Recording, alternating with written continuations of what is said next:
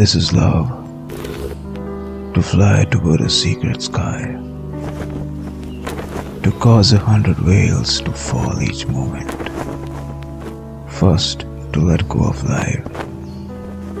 In the end, to take a step without feet. To enter the circle of lovers. To see beyond seeing itself. To reach and feel within the breast.